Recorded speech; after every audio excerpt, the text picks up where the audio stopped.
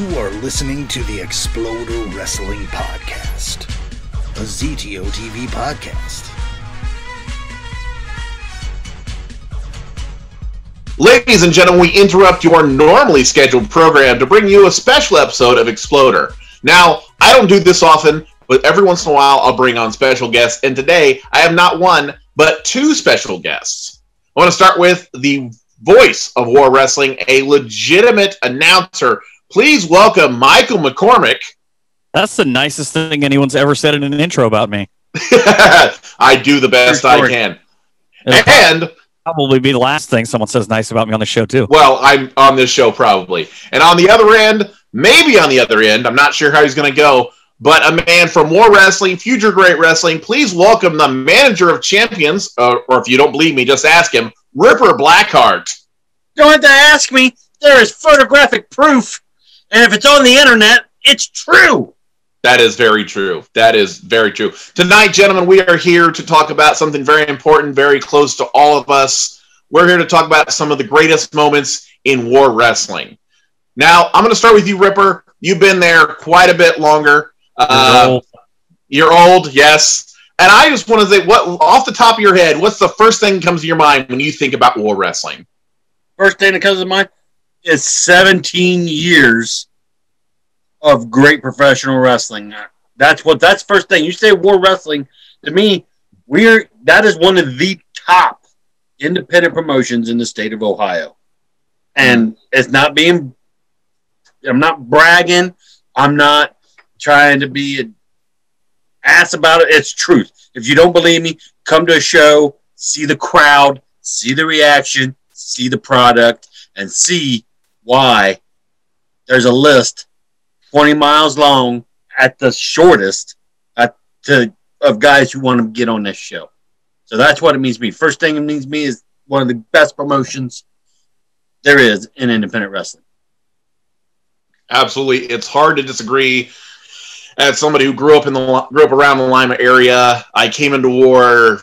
Oh my goodness, probably about ten years or so. I, I- came in and started. Well, I came in just as a fan. I did a little bit of security work, and you're not kidding. This is a promotion that draws seven, eight, nine hundred people without a big name on the, you know, not a, an in- indie guy or a big TV guy. And so I, I will 100% give it on.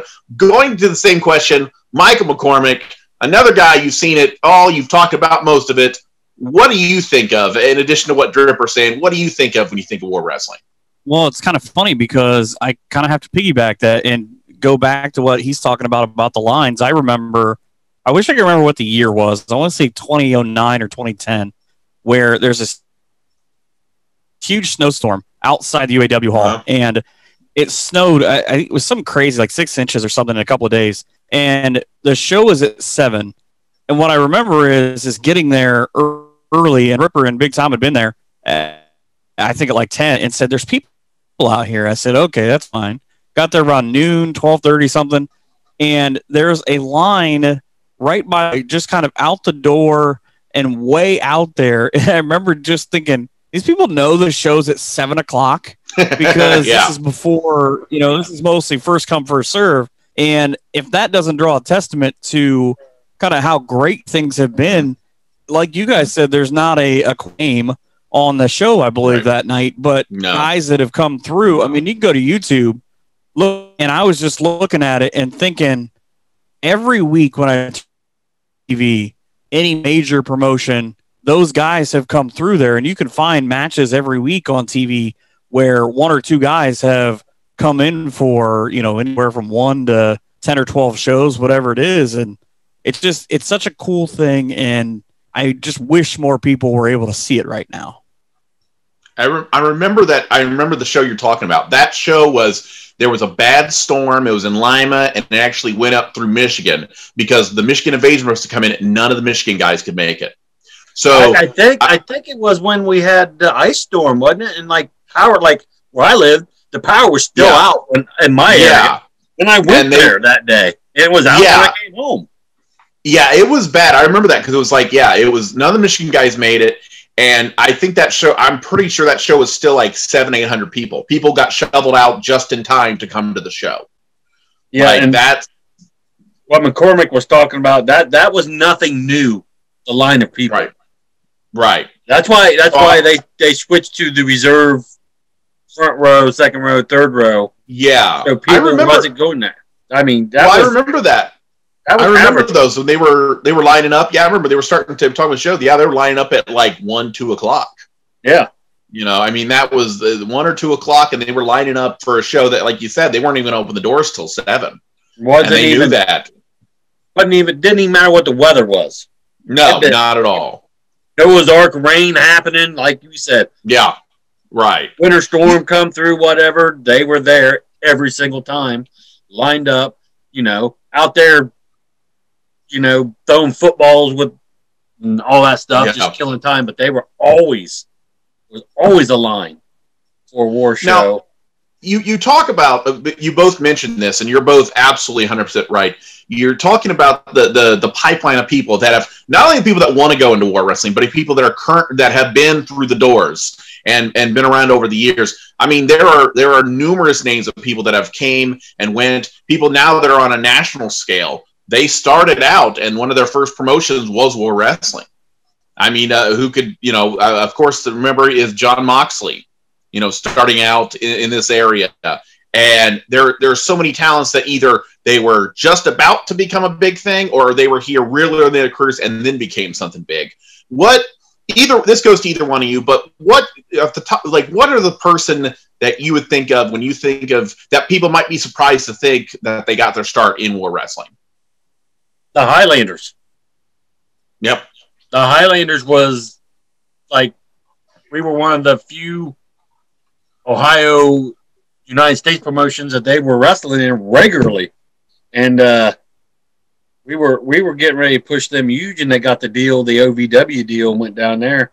Uh another one would be Jillian Hall. If you guys if they remember her, she she wrestled under her indie name there. Um, was it Macaela Mercedes McCormick? And yeah, she was the first the first year of War Wrestling. She was there on a regular basis as Macaela Mercedes. Uh, like I said, you've had her, you've had the Highlanders, Jon Moxley. He showed up a couple times. Uh, Seth Rollins, so he was doing a tour through there and just happened to be coming through the area. And Danny Daniels was got in Tom's ear and said, uh, "Hey, you, you need to find something for this this kid to do when he's coming through." So yeah, Which, he's by the way, shameless plug. If you want to hear that story, you can look up Tales from the Indies on iTunes, and you can hear Danny Daniels tell that whole story. Yeah, yeah, I didn't want to know do part I, of that, by the way. When he started telling that story, I had heard bits and pieces of the uh, the Rollins thing from Iowa all the way out to Buffalo, but I had never heard the whole story before. Yes, I do want to do a quick. I, I do want to do a quick plug for that. These guys have a amazing podcast called Tales from the Indies, where it's these two talking to the who's who of professional wrestling on the independent scene. Really great podcast. Check that out. Like I said, it's wherever you find podcasts, and they talk to some pretty awesome names, and they have some great stories. So I want to just check that out when you get the chance. my first match was August 31st in uh, 97. I remember there was a show in November of 97 and the Bushwhackers were on it.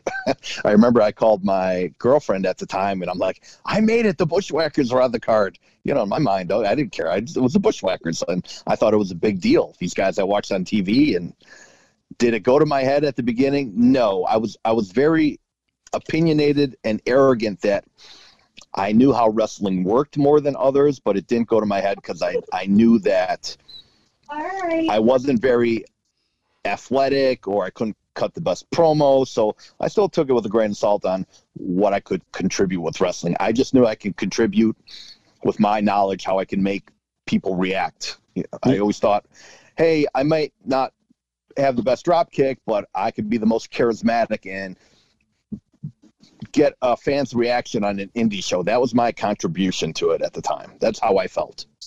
Another one of the names that always pops up to me when I look back at it is Ethan Page because Ethan Page is all over Impact Realm, all over everything. He was in the Mhm. International House of Pain. Those guys uh, did an amazing job. And you've got when you look at Impact specifically, you can see a lot of those guys Oh, and girls God. from that show. I mean, I mean, we had you know, Nevaeh and Jessica Havoc fight each other a handful of times, and Yep. now they're Mhm. part of a main angle there, and that's kind of cool to just see it go. I remember, but I, I know uh, Dusty Dillinger's told the story numerous times about the only time that Test Andrew Martin ever worked An indie Yes. show. WWE was I in remember- Ohio. I remember him. Yes, I do remember that. That was one because he had never because he got signed and he went straight to the B. He had never worked the Independence. So when he came in, he came in for War. That was like the only time he'd actually done an indie show. Yeah, and he uh he sat he sat just on the other side of that entrance curtain through that entire show and watched every match. So it was Wow. time for him to get ready. And then this Mhm. this is going to tell you how long ago it was. Then he got on MySpace Yeah. like the, the next day and just wrote a great review about you know the the promotion. And I think we were we weren't war at that time. I think we were we were doing the the back end of the GWA. Yeah yeah, it was global. Yeah, with, yeah. uh, when when Tom got sick and uh, uh, Dusty took over. Uh, but yeah, and he wrote a nice story, story little little review about his experience there and all that. So we that that kind of popped us a little bit. Reading that made us feel a little bit proud about what we were doing. So yeah, yeah. And two, one of, one of my favorites is still Jerry Lawler because Oh yeah. a little Tom will forever be a dick because he had me curse at Jerry Lawler uh, indirectly because I told Jerry Lawler to get the F out of my way because I couldn't see the monitor, but I was actually talking to little Tom. So I guess you know, I, I Jerry Lawler just kind of turned and walked down the stairs. I'm like, I, I wasn't really cursing Jerry Lawler. Okay, AJ Styles thinks you're a dick too because you think Oh. he's just an indie fed. yeah, he's he was amazing. He was uh he's still one of my favorite interviews we've ever done. Yeah, I, I threw I threw McCormick under the bus like I usually do during that interview, and yeah. Uh, Twice. They hey, you'll be happy to know. You'll be happy to know I did the same thing to Everett Lee, uh, not two three weeks ago. Uh, the classic, the we were interviewing AJ Styles, and uh, he was also selling merch at HWA, the 19th incarnation of it, when we were working at the uh, the Ponderosa in Middletown.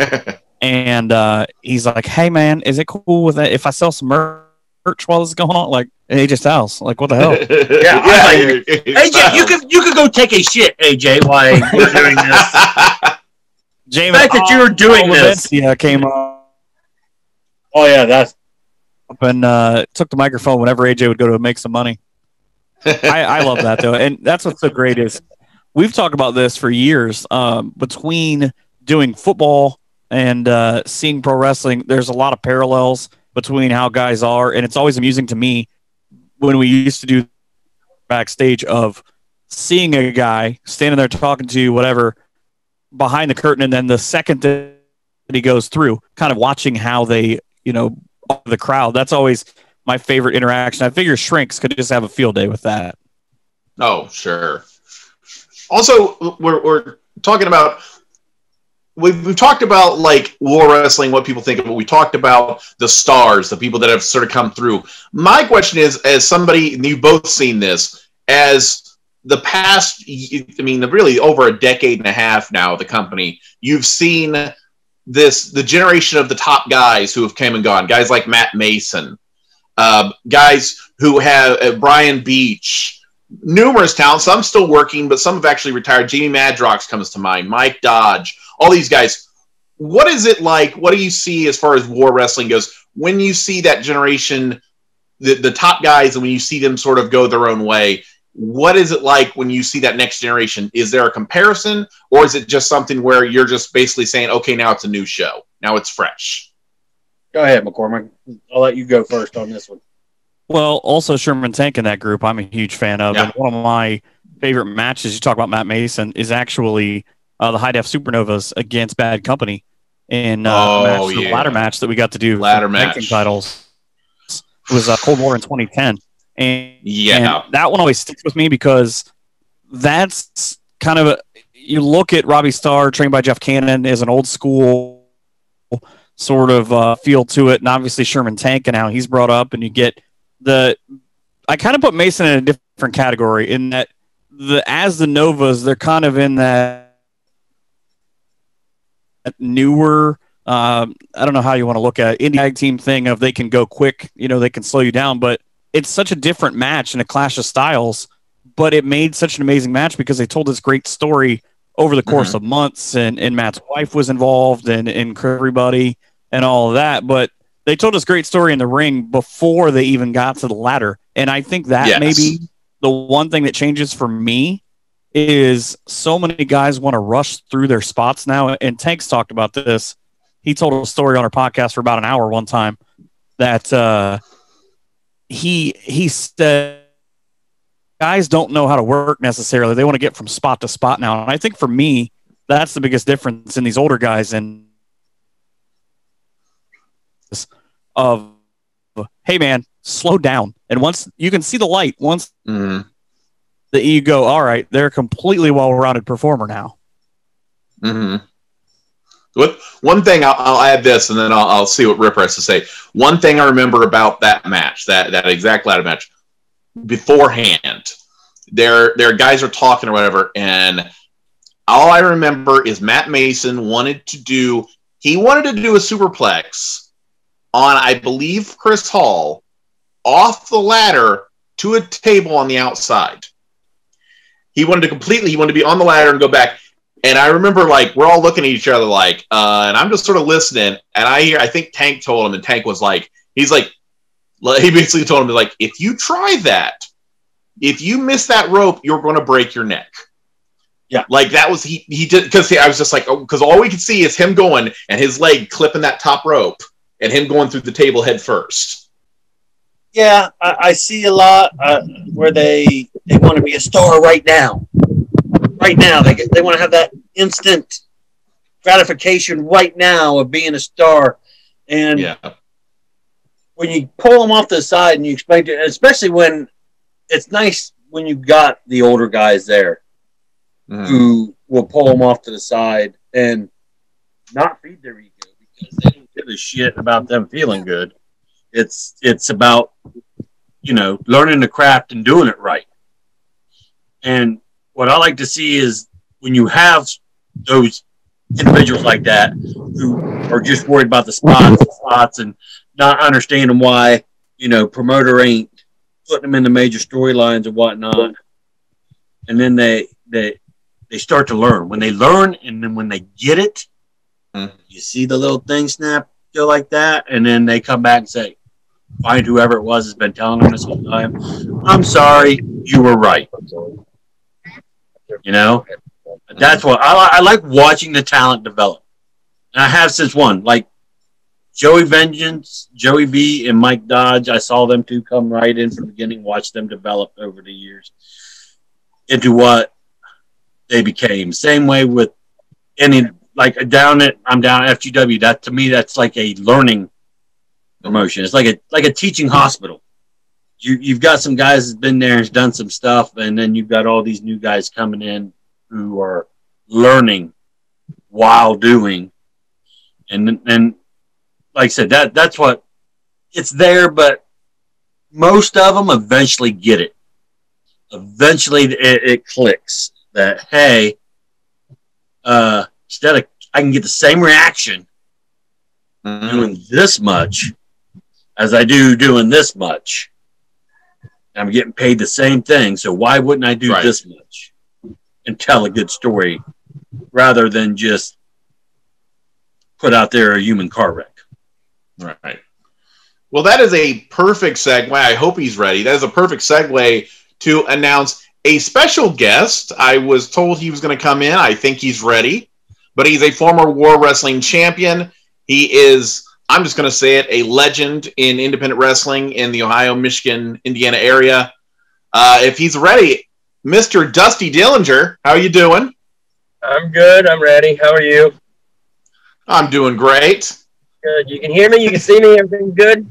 Yes, we can. Absolutely. Good. I, I'm So- traveling right now, so yeah. Oh, okay. so, Dusty, thank you for joining us. Uh, we're talking Sure. about we're talking about war wrestling. Uh, just another guy who's been in it for years and and has been all around from retirements to coming back to retiring again. Um, I just want to ask you a, a question. What do you think at the end of the day? At the end of the day, how would you? How do you think people are going to see your career in particular in war wrestling? I think it depends on um, who you're talking to. Um, a lot of a lot of the fans now, uh, especially the younger ones, are uh, much more aware of everything. Um, they are uh, much more savvy as far as it goes, and um, I think that they are the ones who is just going to maybe just be a blip on their their um, to do list. But you get them older people. Uh, I have been around it long enough, or I have had um, people uh, bring their kids to me and say, uh, "This was my favorite wrestler growing up," and they're introducing their kids to me who are like 10, 11 years old. So it makes it very, uh, really, really interesting as far as that goes. But to that person, I think the the career will mean something more than what the the people out there now will. Um, I, I just think it's just because of the uh, abundance and availability of all different types of wrestling. Whatever, I, I think they're more fans of wrestling than they are fans of one person in particular, I suppose. But uh, they're all all the promotions are set up for the promotion to be the star, not the the people. But the the people just have to be a part of the promotion, the performers. But it's still really cool um, at the end of the day. But um, it, it's just different now than what it used to be. Yeah, absolutely. I mean, I, I that's what I mean. You're a guy who have been involved in war wrestling. I mean, independent wrestling in general, but An war older wrestling in particular. You're an older gentleman, but I mean, it's uh, you know, it's with experience and, and somebody there. Like I said, when you know we're, we're talking about we were talking earlier with the Global Wrestling Alliance with that uh that interpromotional feud you guys did. I remember that started Oh. because you turned on Danny Daniels. Yeah, that thing I was remember- that was hot. I don't think it wasn't uh, Yeah. so much Daniels. It was uh, I think it was Brian Beach. I think or Steve Stone. I think I lynched both of them. Both of them. Yes, I remember that. Oh, okay. Yeah, Stone. and that was uh, a major turning point. And Yes. uh, that interpromotional feud, everybody was at their best, and everyone uh, at that time in that locker room, you didn't have many egos because everybody had done the same things. Everybody had worked for WWF. Somebody, everybody had worked for WCW. Yep. So you know, it, so it wasn't the next road. Yeah. Sure. Yeah, absolutely. Yeah, absolutely. I mean, that was a thing where that was a kind of angle that was something that at least, I mean, at least Lima had not seen. I mean, it was something that was completely different. And it, it- right, Dusty Dillinger turning a, and creating that group and being the heel and all that was just great. And it was a that was a feud that went quite a while to to finally like finish up. But it was a heck of a feud when it happened. Oh, well well over a year. Yeah, I yeah, it was that was a long feud. I remember. I mean, like like like you said, there was so much. The fans were so into it, and there were you know there were clear lines drawn, and there was a you know there were comp- literally competing factions, and that's what made it so great and so believable. No, it's not so much that the fans were really into it. It's just that the guys who were executing executed it flawlessly. They were Yes. people who were at the top of their game because realistically, save for a sparse uh, smattering, almost everyone had been in the business uh, 15, 10, 15 years at that time. So uh, Yeah. we had some very experienced, very seasoned, very good people. I mean, you're talking, you know, the Highlanders, Dean, Dean Jablonski, Mhm. um, uh, what's her face, uh, the chick, um, who went on to be the the half area, the the shit singer. Jillian. I already mentioned her. Jillian. We were able to to capture something that, that really hadn't been done in a while in independent wrestling. Uh, honestly, I feel like since ECW, and that's develop a, uh, a, a cult following of people who, you know, were fortunate enough to be there to see it. So when they're telling their kids, "Oh, you think that's wrestling? You should have saw, you know, Mhm. this," because it's true. Uh, we had it like that. Oh, that's great footage there. That's the first Oh yeah. ever and only that I'm aware of uh, uh, scaffolding cage match in the, in the state ever done. Yeah, that was the thing Yeah. I remember most from that match is Jock. When you threw Jock off the thing, he bounced. He Yeah. hit the ring and he bounced. That much weight, man, that's a lot of momentum. Yeah, exactly. What I remember most, what I remember most is that scaffold was not completely built till the morning, Yeah, of, right before. Yeah. the morning of. Yeah, Started it the night before and, Oh. and finished it up that day. yeah, Oh, jeez. It's interesting, isn't it? Here he goes. He's going. He's about to fall off right yeah, here. Yeah, right here. He, yeah, he bounces. I remember that. Oh my goodness. Yeah, and that's um, that's crazy. And you know, Wow. the thing is, is uh, people want to you know throw around the F word there, but you know, I'll readily admit that it's it's fixed. Readily admit it's fixed. However, yeah, you, you can't you can't fake that. You, it's just No. it, it is what it is. It happens, you know. So it's uh, I know. I think though a lot of the fans now they have a greater appreciation for what what we do out there. Um, I think to the fans today, the the storylines are okay for them, but I think they like to see the uh, the work put in. They want to see they they enjoy the athletic uh, portion of it more so than what say uh, our generation did. They they were more interested in the stories. You didn't have to be athletic or all that jazz. But they the fans today are very much, very, very much into the athleticism, into the art of it, if you will. And you know, um, I had I used to have a very let's say poor opinion of uh, the, what some of these athletes today, um, the way they're doing it, um, as far as you know, telling stories or not telling stories.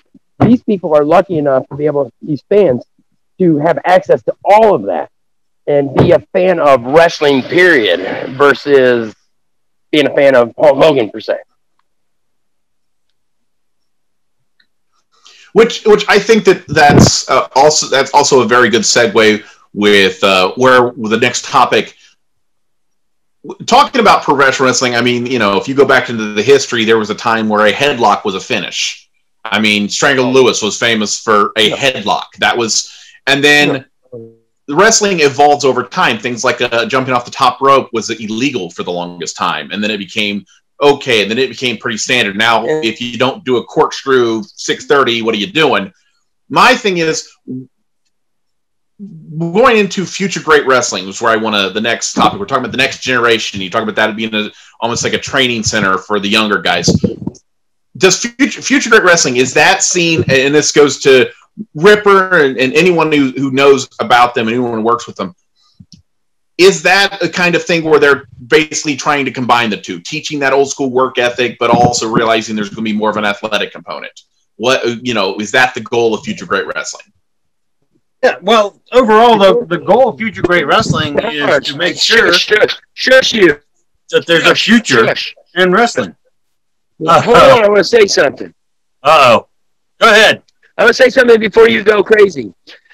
Um, he mentioned something about how uh, the progression, uh, how the this used to be a fish and that used to be a fish. Also, go back in the 1960s and look at a fight scene from a movie, and then look at a fight scene now.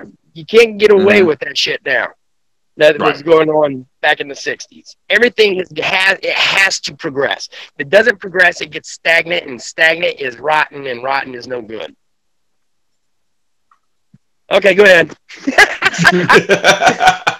But yeah, it's, it's to make sure that there is a future of wrestling, professional wrestling. Cody Hawk wants it to carry on. He's the main trainer there. Uh, and a lot of the guys there, the younger guys, they do the boom, boom, boom, boom stuff, but they also also teaching them how to tell a story. You can use that stuff and Mhm. still tell a story. So, yeah, more or less, like I said, I, I look at Future Great Wrestling very much as like a teaching hospital is only for wrestling. You got guys like Cody Hawk there, Sean Casey, who've been doing this for a really long time, Jackson Breeze, who's worked behind the scenes of several promotions throughout the years. Uh, I've been doing this for 17 years now. And like I said, Oh I've, God. and I've been doing it with Dusty over there and Big Tom and and I, and Cody Hawk and stuff like that. So you know, I've paid attention. I know a thing or two. not not not much more than that, but so yeah. And like I said, they got other guys down there that's worked that area for a long time that that's been doing it for ten years or more to help help these guys out. And I think uh, that place more than any place else that I work, there's a lot of uh, like the older guys sit and watch all the matches. Like uh, when Drew Skills was there, Drew Skills comes in for a program. He's sitting there, he's watching the matches.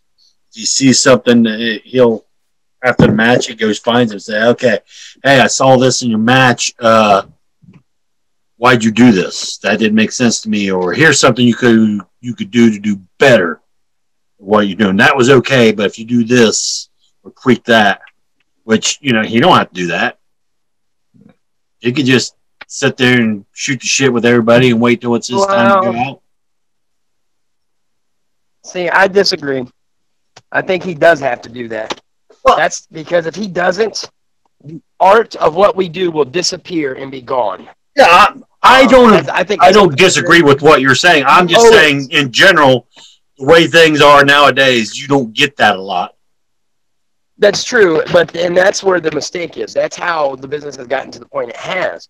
Uh, I believe because veterans, people who've been around, people who paid money, people who paid dues, people who bled, and people who traveled, you know, living out of their car eating bologna sandwiches. Um, those guys uh, did not ensure that the art, the the the the way the business is was going to be moving forward, be progressed, and still be here at the level that it was then. But uh, I, I think, I mean, look, look at let's look at all the, the people out there, even through the '80s, whatever. A lot of those guys were manufactured people. They were guys who paid their dues and all that jazz. So they can't go out there now. We have a big, huge ton of these guys out there trying to work these indies.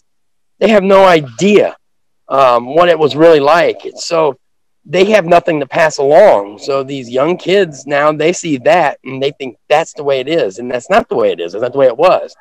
And if we're not careful, people like Drew, people like Apollo, people like uh, um, Dean Jablonski, uh, people like uh, uh, Big Tom, and even Corey Ripper there to a point. Um, myself, if we do not make sure we interject ourselves and our belief system and stuff into these kids, it'll be lost. And we'll have some form of what we used to love out there that we don't even recognize, probably. Yeah, we bet. We're, don't make us become the old guys on our front porch going, "Get off our lawn." Or saying, Where'd my fucking lawn go? Yeah, yeah. You call this something wrestling back in my my day? Yeah. But yeah, I, I, I think I think that is true, and I think you're both right on this. It is something where there is a history of, of professional wrestling, and it has gone through all those years. And unfortunately, you know, it it came it's sort of a side effect of the expansion of it to where it used to be it was hard to get into the business, and then as more schools opened up and things started happening, it became easier to have. It became easier to open a school. It became easier to, you know, take people's money and not and pretend to teach them and not teach them what they need to know. And it became more of some guys used it as a way to make money instead of actually protecting and a way of actually Yeah. teaching the next generation when they you know what they should have. They used it as a work rather than Yes. you know they, they chose to work people rather than educate them. Right, and that and that's the kind of thing where that culture You can part do of the both. Reason, right, and part of the part of the reason and the part of the reason that's gone away is like you said, there's enough guys that maybe maybe even they went to the big times, but they didn't respect it enough to actually care and actually teach that next generation so that they would know how to act. I know a guy who keeps telling me he only ever went because of the catering.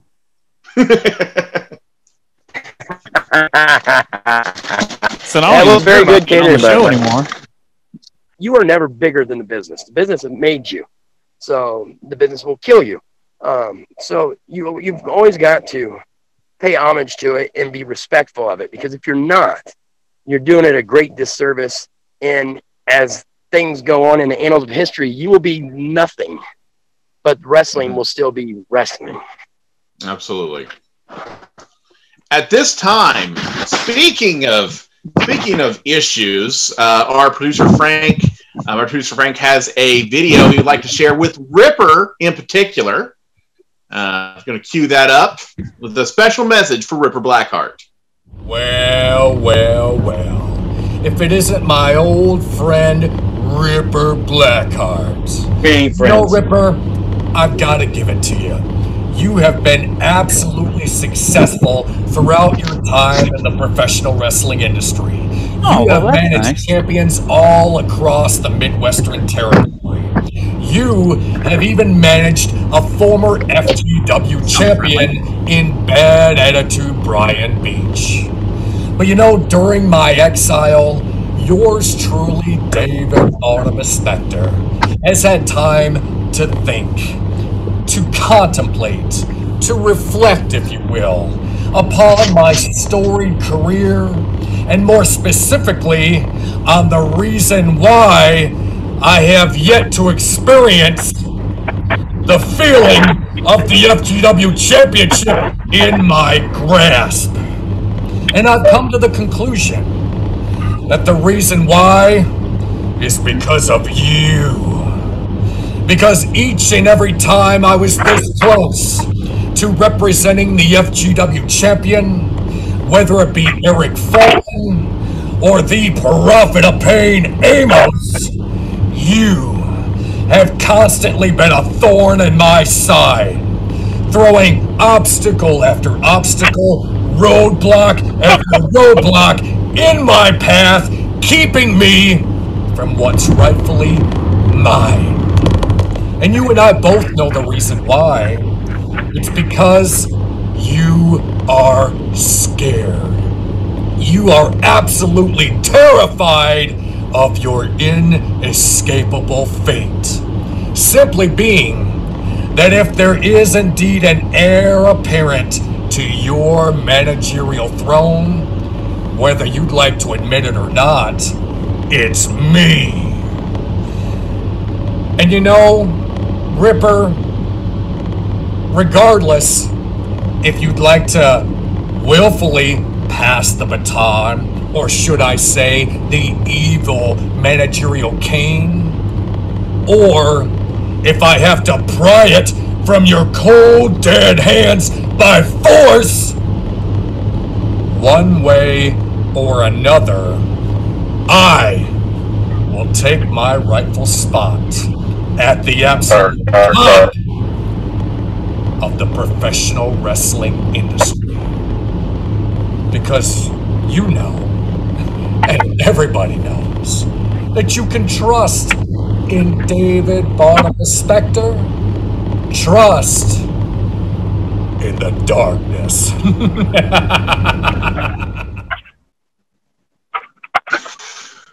Ripper Blackhart, your response. Oh.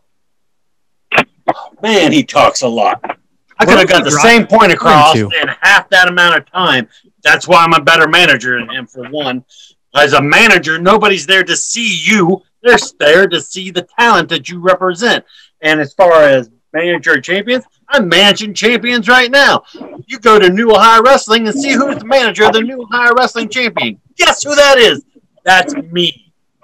Yeah. You're ever playing manage Dusty to a professional wrestling. championship? What? Did you ever manage Dusty to a championship? Manage who? Dusty. Yeah, I did in a Yeah. Mexican restaurant and somewhere. So yeah, I did. Even I Good even story. put a belt on Dusty. So how about that? As far as his place in professional wrestling goes, it is always going to be behind me, Dave, because I've said it once, I've said it a million times. I am never leaving professional wrestling ever. well, aren't we the lucky one? What's your nickname for Dave, by the way? I nickname it oh, it's Photo Hut Dave because he used to take killer pictures of me. That's right, Photo Hut Dave. He he was a ringside photographer before he got into uh, went and got trained and became a I manager. thought he was driving Uber in that video. I got to be honest with you. Mm. probably was uh, probably DoorDash or one of those things. I know he, he has I was a waiting Doesn't for him to make pick someone up or drop off their food. yeah. Probably what Dusty's Something. doing now. Door dashing.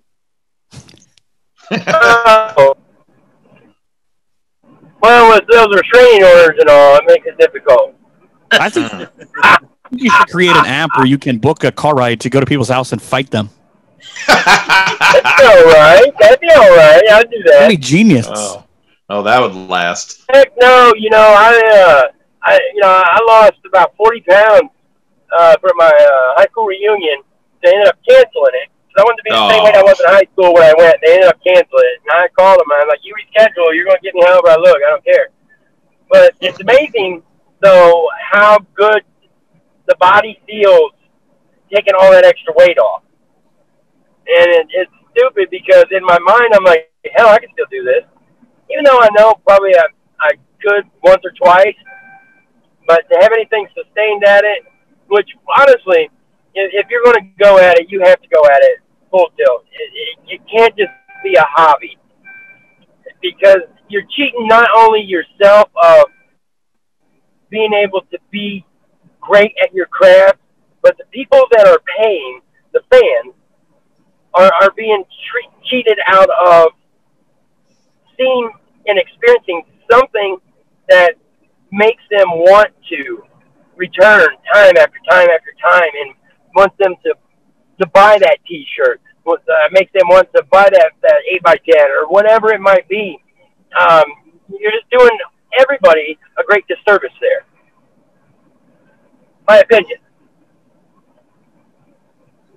On which Absolutely. he has many. Nothing wrong with that. well, I want to thank you, gentlemen. Thank you all for joining us for this special episode of Exploder. I don't have guests on much. When I do, I make sure it's people I like and respect. And I Well, how the hell did we get on? well, McCormick's you iffy, but everyone else. You said gentlemen earlier on, and I was super confused. Hey, let me say something. Since you have Michael Hearn on there, let me tell you something. Uh, for those promotions that do do DVDs and uh, whether it be uh, web pay per views, all that kind of stuff, uh, people like Michael Hearn, Michael Hearn has put in a lot of time, a lot of work, and he's watched a lot of his stuff back, and he's went out and he's tried to learn more about helping to get storylines over, helping to get guys over, um, understanding why he is doing or saying what he's doing, how his inflection matters, all these types of things. And uh, there's a lot of promotions that have guys like him, and those guys also need a shout out in independent wrestling because they are the ones who can sometimes make or break a, a match, especially if you have guys who are inexperienced or whatever in the ring. Those guys right there are are uh, wildly important and needed. And I like you know Hearn especially because I've worked with him and he's always trying to get better and he wants to be great at his craft. And there is absolutely room for everyone to get better at their craft, even the commentators, because they are an integral part of what we do out there. And without them, men, you know, a move is just a move, but they can sell something. They can make something bigger than what it might actually be. And uh, I just want to say uh, thank you, Michael Hearns, for the work that you've done, and especially uh, for the stuff you've done on my matches and uh, the stuff we've done together. I, I'm really proud of it. And you. I just want to say thank you for all that you've taught me, and uh, I joke a lot about you know watching how you go about different things. It really does give me kind of a different perspective of okay, now I see why that might not have worked the way that they anticipated. And I'm always happy when you're telling somebody else what they did wrong and not me. well, I've gotten I've gotten to the point where if I got something bad to say, I always try to find something good to say because I don't want to be totally negative because the entire experience wasn't all negative. They're just small things that could be tweaked and be better than what they were. It's not that they were terrible. Sometimes they are, but for the most part, they could just be better than what they were. And honestly, that, that's what, as far as being human, that's what we should strive to do. Is just be better tomorrow than we were today. Very well said. Thank you, gentlemen. Uh, I always like to go around uh, before we close out. Dusty Dillinger, let's start with you. Is there anything you need to plug? Anything going on with you that you want people to know about, or? Um, no. no wow. No, I, I have. I'm. I have not been doing a whole lot of anything. Um, honestly, I've, I've gotten into storage auctions, and I love it and I'm kind of hooked on it. Um, it's a great. Did you get a catchphrase yet? Thing. What's that? you get a catchphrase yet? Yeehaw. No, no, no catchphrase or anything like that. Like, like, pay me, shit. but, my my greatest find so far has been a. It, it, it looks like the purple reptile pocketbook ended up being a purple crocodile skin Prada handbag uh, praised oh, out to go to auction at twenty four thousand dollars. Uh, got seventeen thousand out of it because I sold it outside nice. the auction, but I took a guaranteed payday over hoping, you know, and I got to the pay window, if you will. Pay window, maybe. but no, that's about it. I got nothing to plug, um, unfortunately. But who knows? Never know what uh, tomorrow might bring. Absolutely, Michael McCormick. Is there anything in particular that you want the people to know? Anything you have to plug? Well, those are two different questions, I think.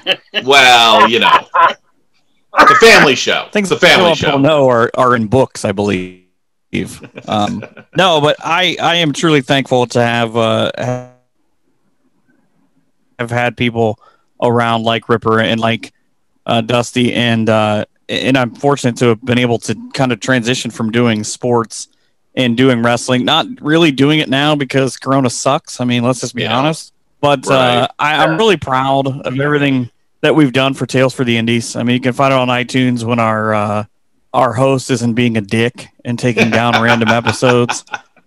Uh, I want to figure out how to maybe just kind of port them over to YouTube somehow so that uh, they're always there. But there are so many great people, uh, and we've learned from and have had a lot of fun. But I'm really proud of that show. And when we get to do more of them, I'm always happy to have them out there. But I, I just, I feel so lucky at time every show that we've ever done to be able to just sit down and try to put words to, and you know, like Dusty talked about, a singles match has five guys because of all five guys, the two commentators, the two guys in the ring, and the referee. If one of them isn't doing their job right, well, it's going to suck on some reason. And and I've had guys tell me, you know, you didn't do us a service. And I've learned from that. And I hope that you go back and you look at YouTube and find all the matches, whether it be HWA, OCW, um, what do we do? CWAI, War Wrestling, and you can listen to that and go, all right, this guy's not a complete idiot. He at least sounds like he knows what he's talking about.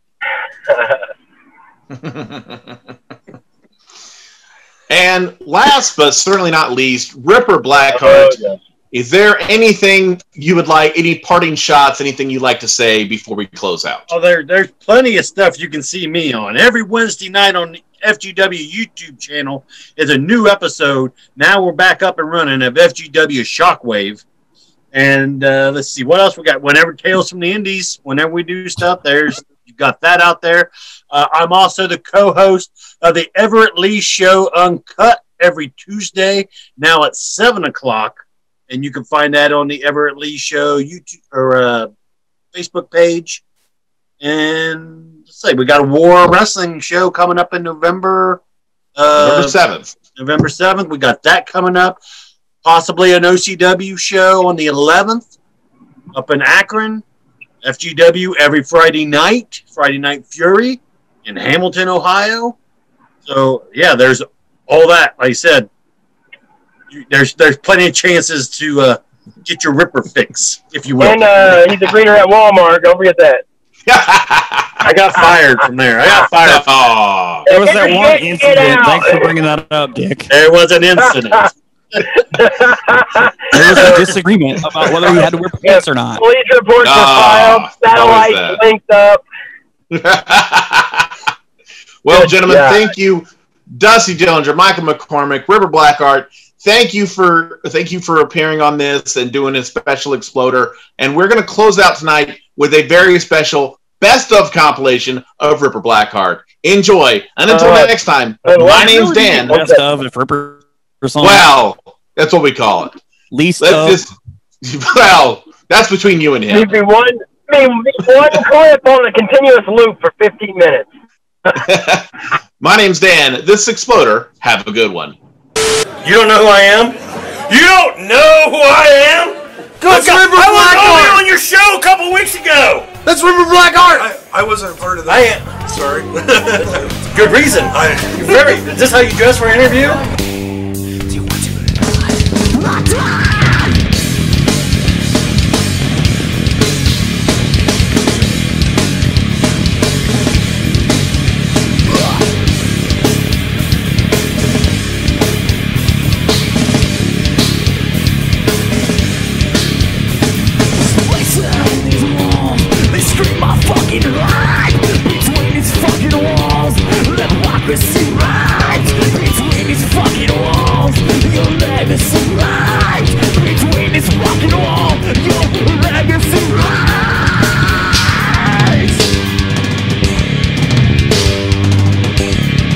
Ripper Blackhart. I am without a doubt the greatest wrestling mind to ever step into this company. Forces the pain through my spine to do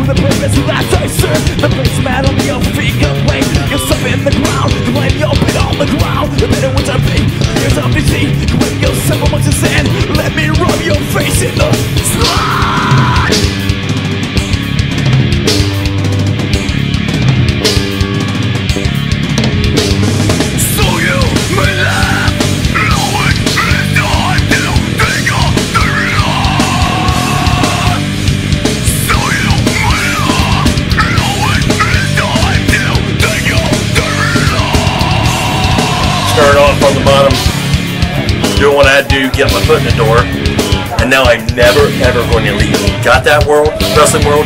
I am never ever going to leave.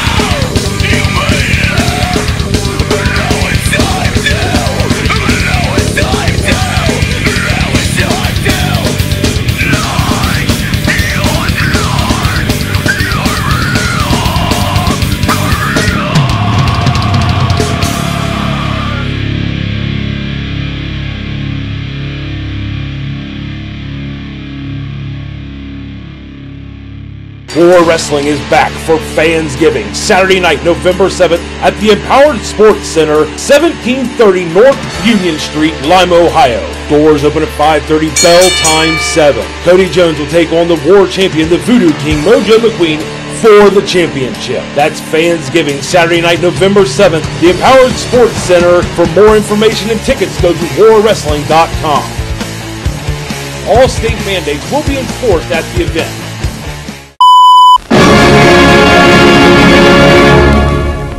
再 游